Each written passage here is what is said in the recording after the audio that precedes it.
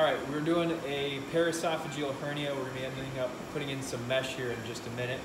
Working in 3D, I've got the flex FlexDex in the right hand. I stand right between the patient's legs to keep my entire operative field right in front of me. One of the key things that's a nice move you can do here is I'll actually have my hand up and extended, and you can see I can take the back arm and push away the esophagus and the stomach and get a nice bite of that right crus getting the whole peritoneum over the top of it.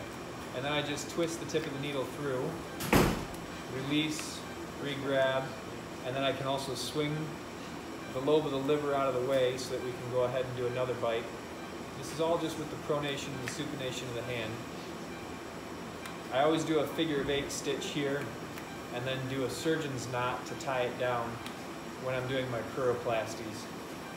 I use an O-Ethibond suture because I like the permanent suture that's non-barbed to go up in this area. And of course you have to make sure that you get a nice peritoneal bite because if you don't have peritoneum covering it over, your fascial stitches or your, your muscular stitches on the crura will just eventually cut their way through. So we can sweep the liver away, identify the inferior vena cava to make sure that we protect that.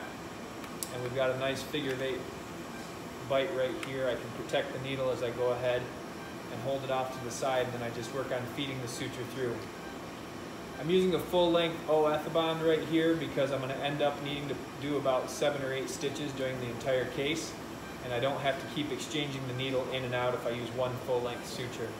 It ends up being a little bit arduous for the first couple of sutures, but after that, it works really well, and you can, with good suture management, you can just keep it off to the side and out of your field of view.